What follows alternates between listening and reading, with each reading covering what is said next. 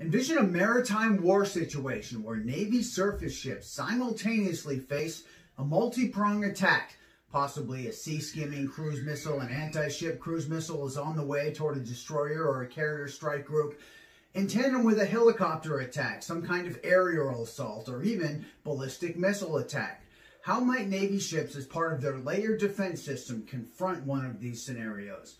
Well, first, before any threat can be intercepted, it has to be seen or detected.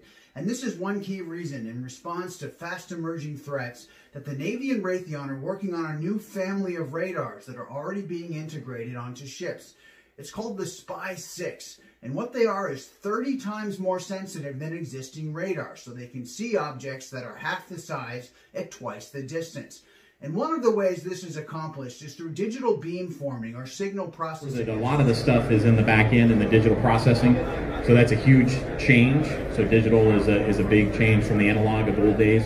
Uh, that gets you a lot of the improved uh, sensitivity, discrimination, all those kind of things. The Navy is looking to expand this family of radars across its entire fleet of surface ships. There are many variants, Spy 6 V1s going on Flight 3 destroyers. Now this one combines air and missile defense and ballistic missile defense into a single system, in part so that it can track multiple threats and hand off information. Now, digital beamforming, according to various research sources and weapons developers, is explained in terms of multiple independent radar beams where electronic pings are sent forward, bounce off an area, and deliver a return signal. That return signal can then pick up a wide sphere of areas simultaneously and potentially track multiple threats at the same time. This, of course, is all about time. Commanders then have the occasion to decide which element of the layer defense system might they need to use. For example, for a medium range threat, a SM-6 might be used. For a ballistic missile approaching, interceptor missiles like an SM-3 would probably be the best choice. And for closer in threats like small boat attack or swarming close in drones, most Navy ships are armed with something called close-in weapon systems, which is a phalanx gun that's an area weapon, fires out projectiles almost in a 360 degree sphere or in a very wide area envelope to take out approaching threats. Or, in the case of a sea skimming anti ship missile, the Navy has something called Evolved Sea Sparrow Missile Block 2. And what that is, is an interceptor. It fires out of a vertical launch tube and it can track and take out even these sea skimming threats. Version 3 of Spy 6 is engineered for carriers. It's going on CVN 79 or the USS Kennedy, the second Ford carrier. And there's even a version 4 that's being backfitted onto Flight 2A existing Navy destroyers.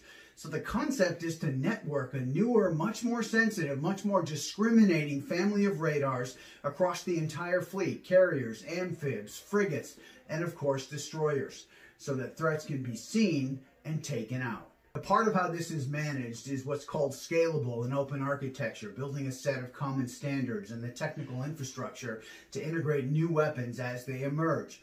And they use something called radar module assemblies. And what those are is two feet by two feet by two feet, essentially building blocks that can be compiled to create a collective powerful radar system.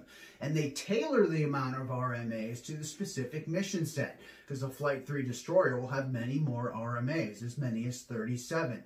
The Flight 2As are getting 24, and the ESA radars, which are for the carriers and the frigates and some other ships like amphibs, they are getting a lower amount, tailored to their mission. They don't necessarily need ballistic missile defense in the same way, but they might need layered area defense, particularly in a strategic environment described often by the Navy as distributed maritime operations, where longer range networking and sensors enable a more distributed attack, which makes it less condensed, therefore less vulnerable to enemy fire and also potentially more lethal as it can attack from longer ranges, find weaker points in enemy defenses to coordinate attack and work in tandem with unmanned boats, which massively expands endurance and range for surface ship attack. This also hinges on a much discussed military grade GaN or gallium nitride.